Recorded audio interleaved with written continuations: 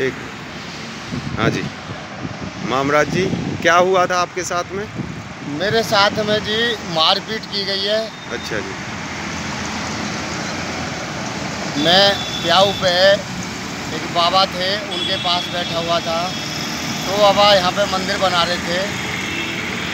तो ये सागर और दीपक रावण बोलता अपने आप को। अच्छा जी। वहाँ आया हमारे गाँव का हरफला से। मैं हरफला निवासी हूँ।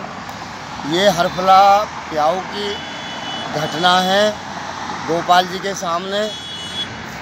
जी और मैं बैठा हुआ था। भोजन बाबा जी को तभी परोस रहा था। जी। तभी दो लड़के आए। जी। एक का नाम दीपक और एक का नाम सागर हरफला निवासी। जी। और उन्होंने मेरे से दारू शराब के नशे में थे धुत थे। जी। और उन्होंने मेरे साथ अपशब्द बोला जाति सूचक चमार साला चमार क्यों बैठा रखा बाबा जी से बोला है? जी। और बाबा जी यहाँ से भाग जाओ। नहीं तो हम तुझे ख़त्म कर देंगे। यहाँ कोई मंदिर नहीं बनेगा। ये हमारी है हम यहाँ कुछ नहीं बनने देंगे। चाहे यहाँ पे आदमी मर जाए चाहे कुछ भी हो जाए। तो जी मेरे साथ में मारपीट की दो लोग थे। मुझे ये देखो गले पे खरोच है मेरे। ये सर में मेरे चोट है जी। एमएलआर मेरी कटगी जी परसों रात 12 बजे जी। जी।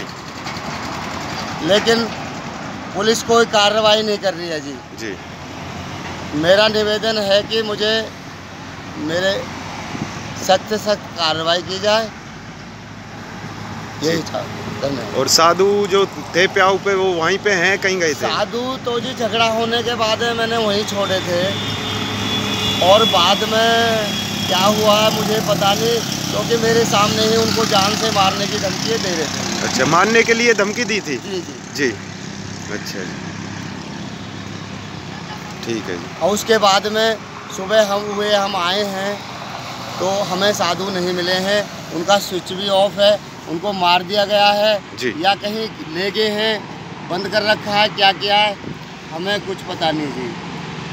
तो आप इस बात पर रोशनी डालें ठीक है।